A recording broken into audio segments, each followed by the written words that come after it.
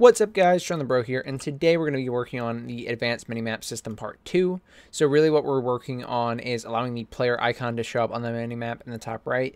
So we had this working in the basic minimap system, but we now have this customizable Advanced Minimap System where we can basically stylize our minimap and display or not display certain things that we want on it.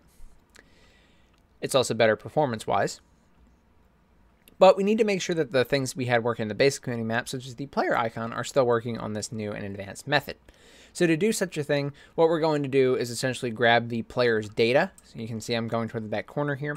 And as I rotate my character, the uh, image in the top right, the player icon rotates as well, and it also follows the location. So it's placed in the center where the uh, material for the minimap is actually trying to move and orient itself around. In short, what we're going to be doing is making the player icon on the minimap be representative of what the player is actually doing or the character is actually doing. Okay? So, we're going to get started today, but before we do, I just want to let you know that this is episode 36 of the Action RPG tutorial series. And so, if you want to get caught up on everything we've done, we have plenty more episodes to go. You can stay current with this playlist right here in the top right corner. You click that, you can check out every episode we've done in this tutorial series, and you can also check out a few additional ones that I think are just helpful for this game. I will also link this iCard right here, which is the iCard to the previous advanced minimap episode where we set up the customizable and uh, stylized minimap section.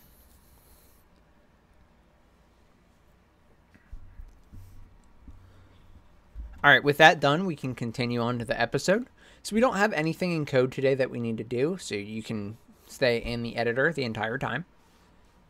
And we are going to edit a few things to support this method.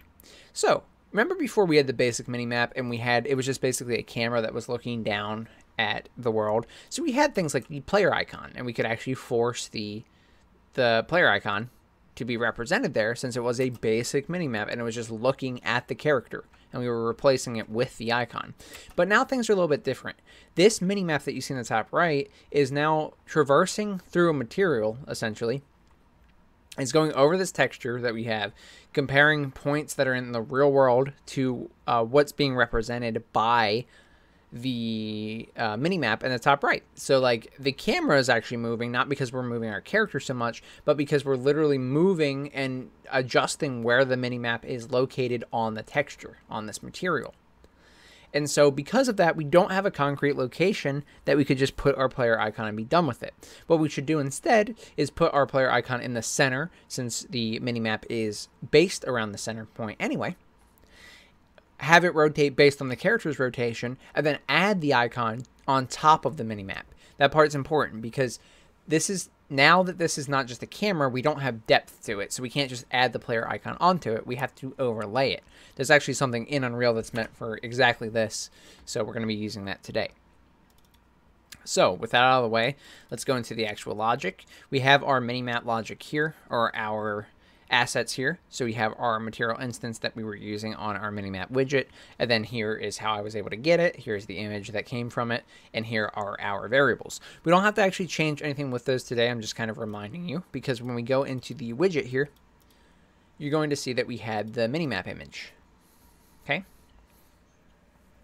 And so the minimap widget or the minimap image here is going to be essentially, it was just covering this entire canvas panel. Now, that's perfectly fine. That was doing the trick. However, we can't put anything over top of this. This is in widget space or screen space. And so in this case, when we had this on the canvas and we applied it on the HUD, because this image was on our character HUD, then without putting a player icon on top of this and changing the Z order, there would be no way to actually see these uh, widgets on top of each other. They'd be fighting for each other. They'd be fighting to render. And so the problem with that is if we try and spawn all the the icons that we'll need on our HUD, it's going to get very busy really quickly, and we're going to have to hide and unhide ones as they come, as they go within range of the minimap, or if we have a bigger map, and you know, a map that you can open up and look through and zoom in and out, that stuff is going to happen uh, you know, it's going to be rendering what it needs to based on what is in within the range. So we don't want to hide everything that's not within the range at the start, but spawn them. That would be bad for performance. So instead, what we're going to do is leave this alone. Leave the minimap that's on the HUD alone. We're keeping it zero to zero. We're not spawning additional widgets on top of it. We're going to use this overlay widget. So we had the image here, and it was a child of the canvas panel. What I've done is I've gone in the palette search for an overlay, brought it as a child of the canvas panel. I already have one, so I'm not going to do it. When you do that, you're going to get this right here. I went ahead and anchored it, whoops, to this guy right here, at the bottom right, which is the entire uh, space of the widget. Okay, and then I've also gone ahead and changed the offset right and bottom to be zero. They're normally 130, but if you do that, it'll look like this when you do that anchor you know, have missing space here, which we don't want. So instead, I offset everything to zero, and then it takes up the entire space. So that entire section we had on the character HUD is going to be filled by this overlay. And so while it's filled by the overlay, we need to figure out what we want the overlay to be filled with because we're going to be able to put things on top of this now. That's the whole point of the overlay is we'll be able to put icons on it and actually add some depth to the widget and to the image itself. So specifically what we need to do is this is our overlay. I called it minimap overlay. It is a variable. Make sure you check that because we're going to use it in the blueprint. And then instead of having just the overlay and the image separate, even though that technically will work visually, we want to make sure that, again, the icons are going on top of this. So what I'd recommend is making the minimap image a child of the overlay and making it span the entire overlay. The way you do that is you just add the horizontal and vertical alignment at the vertical and horizontal fill. If you do these other things, you can do different things with them, like I can center it, left align, right align, whatever. But this is the fill. If I do this, it takes up the entire overlay, which is what we want. The entire size of the overlay should be taken up by the image. The other things will be added after the fact. So basically, long story short, add an overlay, child the minimap image to it, fill it in so that the image takes up the entire overlay and make sure the overlay takes up the entire widget space. Now, with that, what we can do is we can actually go through and add items onto the overlay. So we can add our player icons and our other icons onto the overlay and show it on top of the image. But to do that, we need another widget that we can spawn. So before we go into the graph, let's go and create a new widget. I've already created mine, but you can go right here to create a new one, and I called it the player icon. Now the player icon, what it is, is essentially just an image that I have here, and it stores the icon we made for the basic mini map for the player. Okay, so let me show you how I set it up. You can set up a few different ways, but this is what I did. I added an image, which you can find under common, just brought it onto the screen. It's just a child of the canvas panel. Now, uh, I have defaulted it to a, a, few things because this is what I liked. So let me explain because this is completely, you can vary this and you can change how everything looks here. So first things first, when you add an image, it's going to be a certain size. It's most likely not going to work with the size that you have set up for the minimap player icon. Like if I were to look at the image size, the default image size I have for this icon is 371 by 389. That's great, but the image is not that size, so that doesn't really assist me in any way here. So what we've done instead is I've gone ahead and clicked size to content, and it will then make the image widget as big as the image that is being supplied by this brush here. So as we change the size of this, then the size of the image widget changes. Now 24 by 24 is just the value that I chose because I thought it looked good but it's pretty arbitrary. So you can change this to whatever value you want. Um, if I make it something like 64, 64, then when I play the game, it's going to be much larger. Notice how it's now offset. It doesn't actually match up with where we're at. This is because of where I placed it in the widget. So we want the image to be centered on this widget. We either want to take up the entire widget or we want to be centered within this widget. Either will work in this case. So I went with the centered method, but if you're familiar with uh, other ways of doing this, feel free. I didn't do this for any reason on purpose, just because I thought it was the most convenient. So to center this widget, you see how it's not really in the center? You have these lines that kind of guide you. This is the middle line. Okay? And you can tell it's not centered there. It's close. What I've done is I've anchored it to the middle. Okay? To the center. Now, when I anchor that, you're like, why is it not in the center? Like, we just hit that anchor center. The problem is it puts the top left of the image in the center. So if I were to get rid of these positions, okay, you could see that the center of the image, where this is, this is the center right here, is where the top left of our actual image is. That's how it works. But we don't want that. We want the center of the icon to be in the center of the mini map. So what we need to do is take the size that we give this. Let's change this back. I'm, I like 24 as the size, uh, but if you want to work in uh, good powers for images, you know, 32, 64 are going to be good, so you can use them if you'd like. I like 24 as the actual image here, uh, image size here, because I thought it looked the best, but it's up to you. See, it's not centered, okay? But what you can do to get anything in the center once you anchor it to the center is that you just take half of the x and half of the y and subtract it. So we have 24 size x. So if I subtract by 12, it's going to get the center of the player icon in the center of the widget. And then same with the vertical element. So we can subtract 12 from it, since it is 24 on the y, and now it will be in the center vertically of the widget. And now our image is directly in the center, so when we apply it to the minimap, it will also be in the center of its parent, which is going to be, yet again, overlaid here.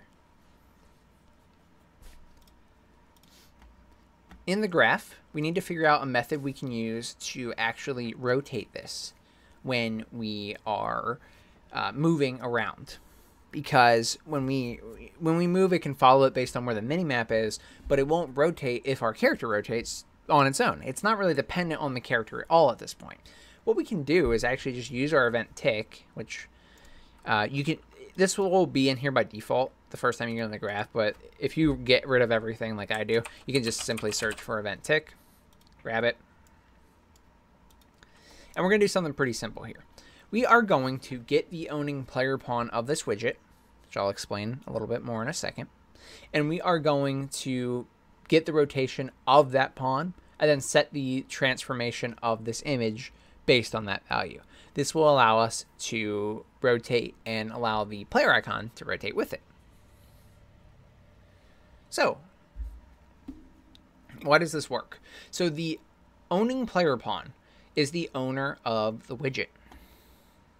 Now, we never set an owner of this widget, not yet, but we're going to pass one in when we create it and it's going to be the owner of the minimap widget that we pass into it. And so the owner of the minimap should be the character that owns that HUD. So in our case, the character that we're playing as owns this HUD. So anything that is owned by this HUD should also own the minimap and the player icon. So we get our owning player pawn. We cast it to the appropriate type.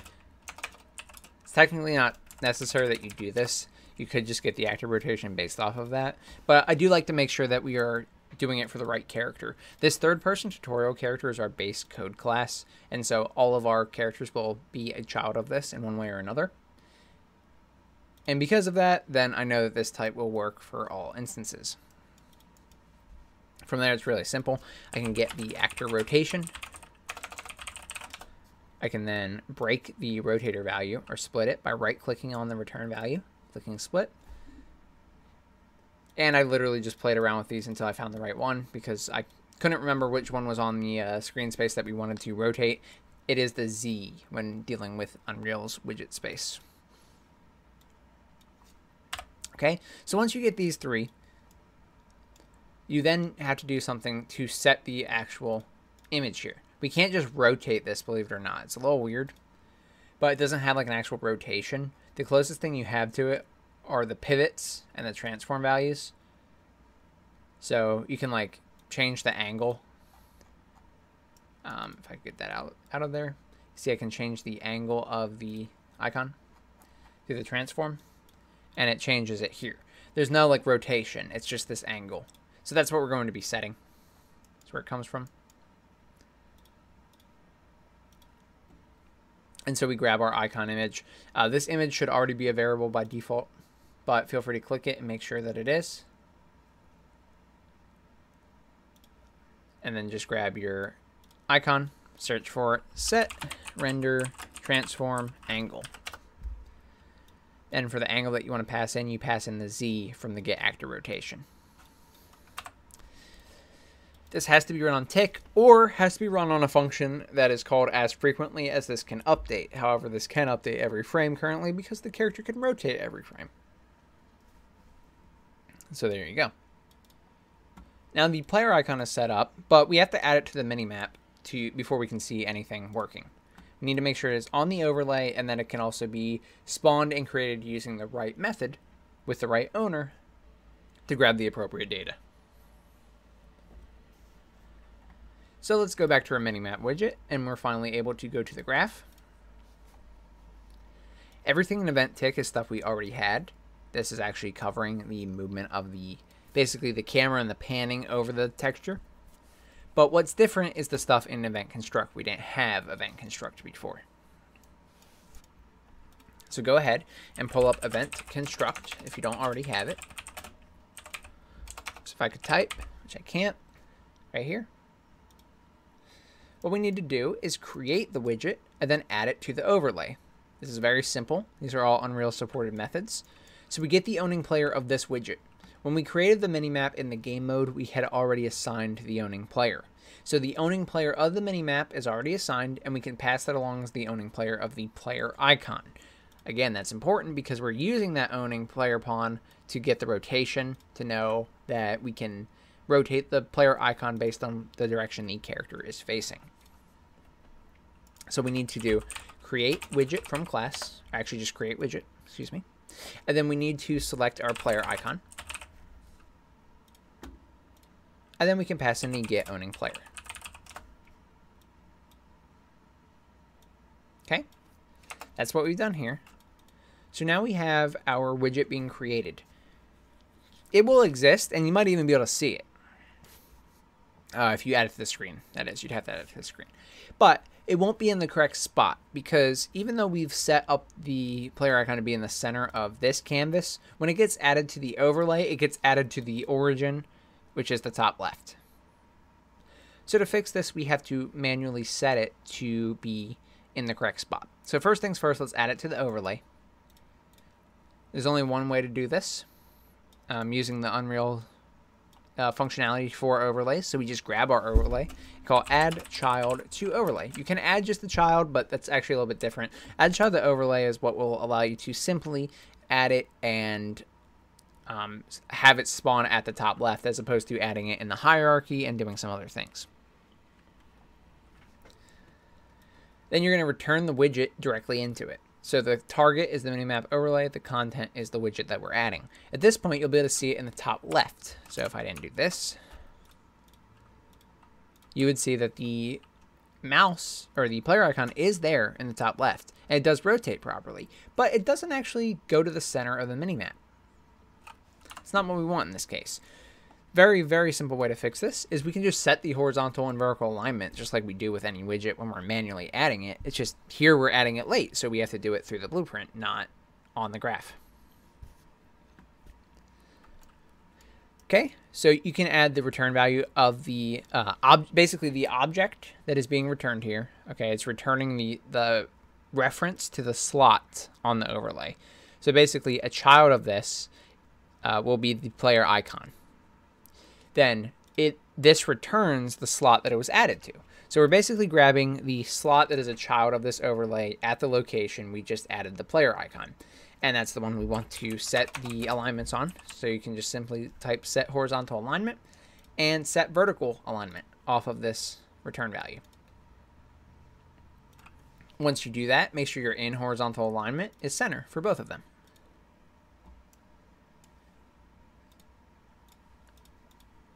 And once you're done with that, it will appear in the center of your minimap and it will rotate as your character rotates.